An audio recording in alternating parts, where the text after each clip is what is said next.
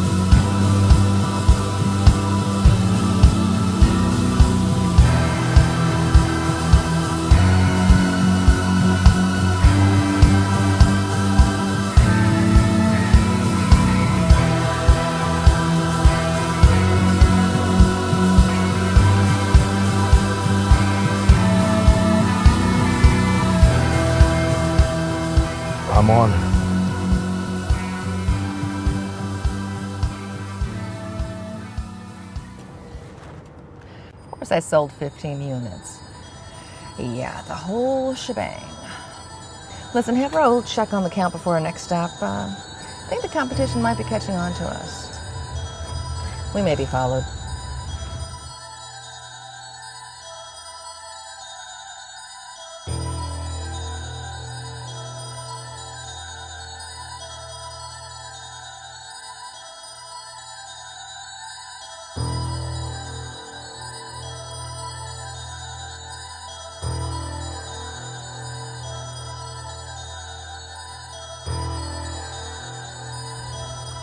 Hold off. She's never leaving the building.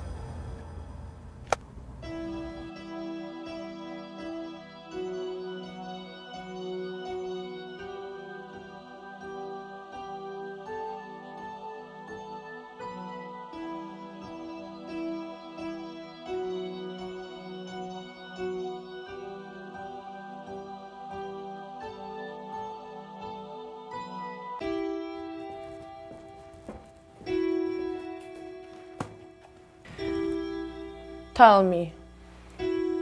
Well, as you know, our technology is second to none. Now, with our warranty and our service agreements, we back every unit to perform as promised. But at twice of the price that you originally quoted?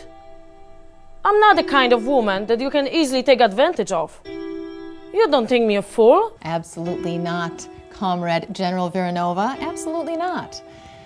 But I don't have to remind you about the value of diminishing commodities, do I?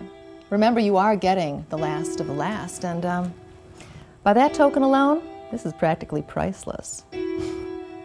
Besides, you want to be able to stand toe to toe with any man, don't you, or woman? With machinery this powerful at your fingertips, no one will stand before you, no one.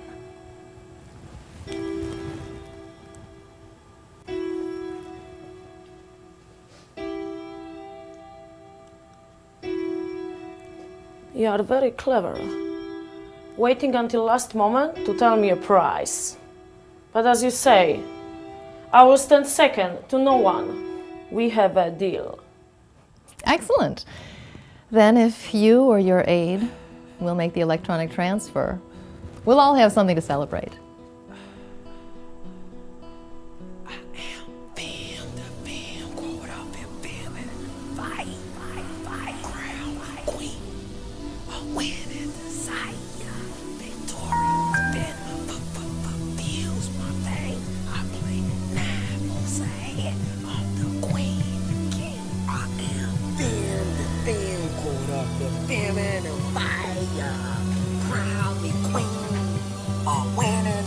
Congratulations, Comrade General.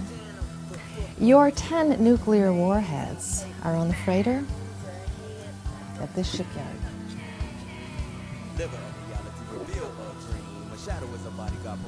Excellent. I now have the power to dictate any terms to our enemies. No one will stand in my way. Um, I'm sure you're mistaken, General. How so? Well, you see, I'm afraid that all of your enemies already have this technology. After all, you have to remember, you were the last one to purchase the inventory. Oh, Mr. Newsom. How long do you think you'd avoid me?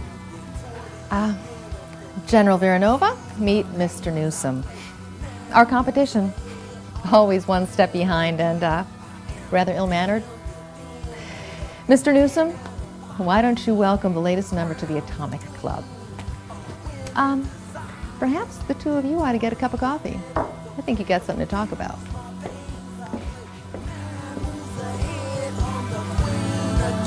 I am